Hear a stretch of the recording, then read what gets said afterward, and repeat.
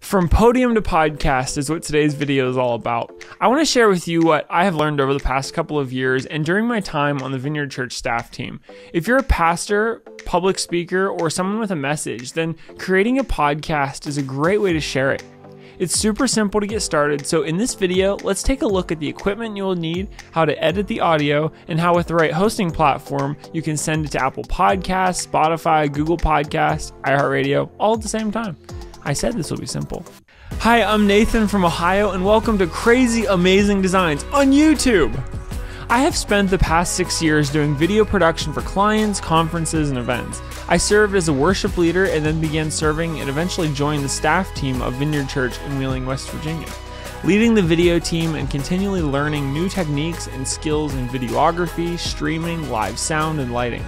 In my spare time, I have learned skills like 3D design and printing, programming in Arduino, and just a little gaming. I have organized this video with timestamps that will show on the screen. These sections will help us look at the different key parts of creating a podcast. So let's dive in. More than half of all US consumers above the age of 12 are listening to podcasts on their own. And plenty of kids birth to 12 are listening in cars with their parents. This means way more than half of the population consumes podcast content on a weekly basis. So if you have a message to share, then you should definitely have a podcast. I have several podcasts that I keep up with anytime I'm in the car. For me, I'd much rather invest that time by listening to a meaningful podcast or audiobook. Many churches use podcasts to share sermons and interviews, which is what most people will consume for a long time before they ever step into the building. However, you decide to use your podcast, be sure to have intentionality as you incorporate it into your social media strategy. For those who are church pastors or public speakers and speak on a regular basis, you might already have people that record audio of your speaking. For you, it is a simple matter of coordinating with the correct people for a copy and then uploading it to your podcast. They can use free services like Google Drive and Dropbox to upload the audio file and then send you a link. Anytime you're planning to get an audio recording from the venue you're speaking at, I highly encourage you to get samples in advance of recordings they have done recently. While it may be easy to overlook this, it's a simple step to making sure that their quality is in par with your podcast standards. This way, if the audio isn't being recorded or if it isn't good, you can make arrangements to record it yourself. Now let's talk about how and what you will need to record your audio. The easiest way for you to get good audio every time is to purchase a lav mic. This is a mic that clips onto your shirt and records to a battery powered body pack. They use a micro SD card and can record for many hours nonstop.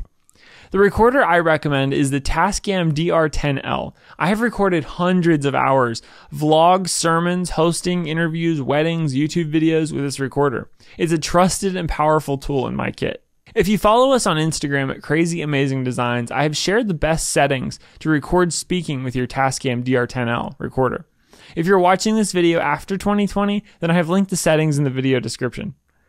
A lav mic is perfect for recording a presenter because it works anywhere, and it doesn't matter if the church or venue also has a microphone for you. Just clip theirs on beside yours, or hold their handheld and leave yours clipped on.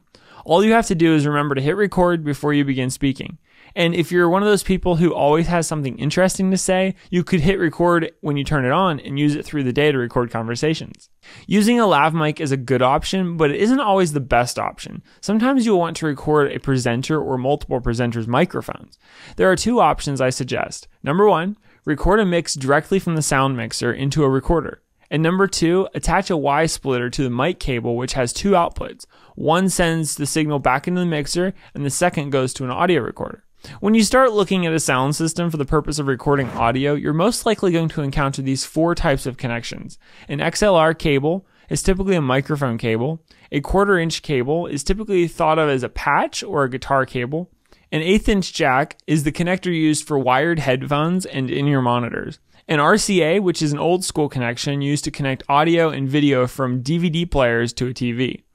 The last important connection is a Y cable or a splitter. This cable plugs into the audio source and then gives you two outputs. One output goes to the original destination and the other goes to your recording device. Unless you have a computer mic that uses USB, you will likely see mics with XLR ports on them. The mic will have the male port and the cable will connect from the female port side. Anytime you're using a condenser mic, such as most podium mics or this SM7B I'm recording with, these are commonly used for podcasts and musical recordings.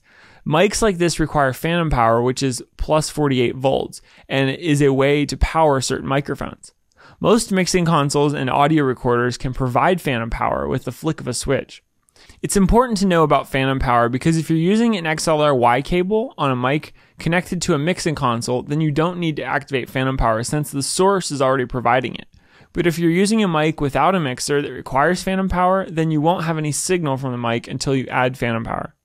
So now that we have discussed the connections you will likely see, let's talk about how we record each of these signals. The easiest option other than clipping a lav mic to the speaker is to record the output from a mixing console, but even that isn't ideal if you want to be able to mix multiple microphone recordings in post, from a panel discussion or a debate. If the mixer's analog like this, it might have an REC out, which is an output of the main board mix. This uses the RCA style connection, which you can convert from RCA to eighth inch, XLR, or quarter inch.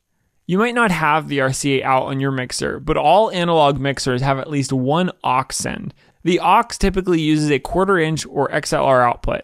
Each channel on the mixer will have a knob that can be raised and lowered to send more or less of that channel to the aux mix. If you have a digital mixer, then you can record through an XLR mix bus. Using these techniques, you should be able to get a signal from any mixer. A device such as the Zoom H5n is a great investment for recording audio from any quarter inch, XLR, or eighth inch source. Recording the output from a mixing console does have its downsides.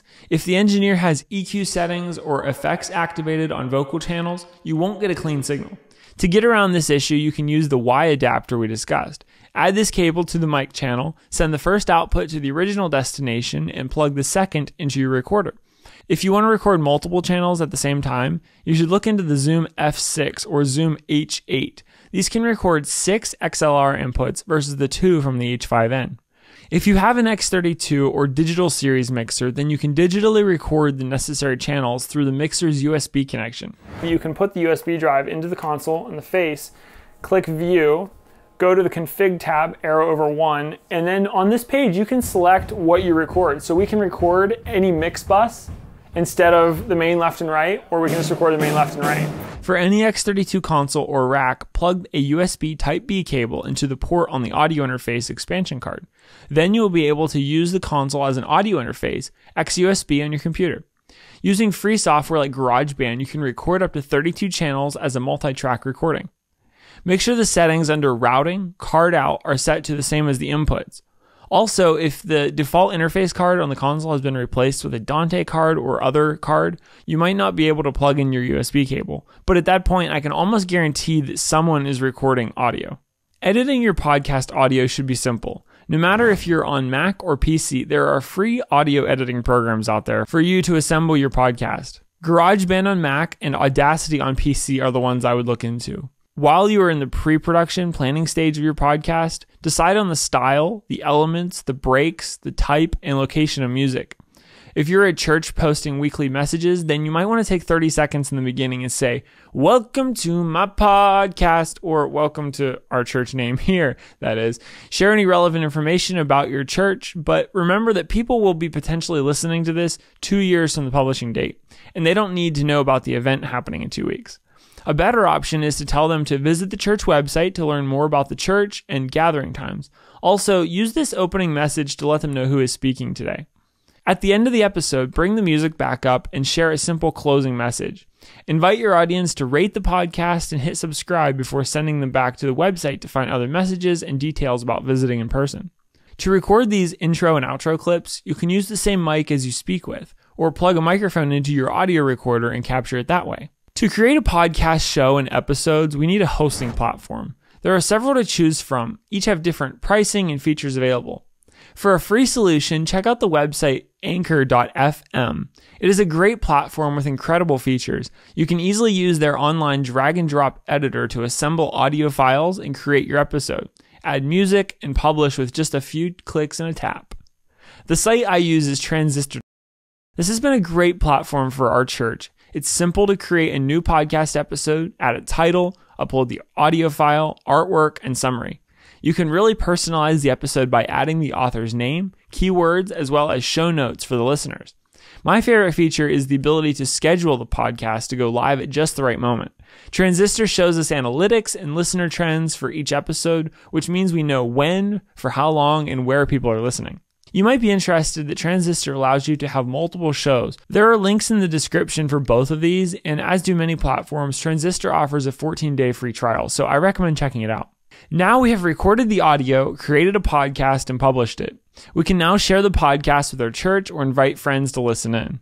If you found value in this content and want to see more in the future, please hit subscribe. And if you have any questions or if there's a topic you want to see more of, leave a comment below and I'll see what I can do. Additionally, feel free to reach out to me on Instagram if you have questions that are more lengthy in conversation. I post additional content on Instagram daily at Crazy Amazing Designs that further covers topics from these videos. Well, thanks so much for watching and we'll see you guys next time.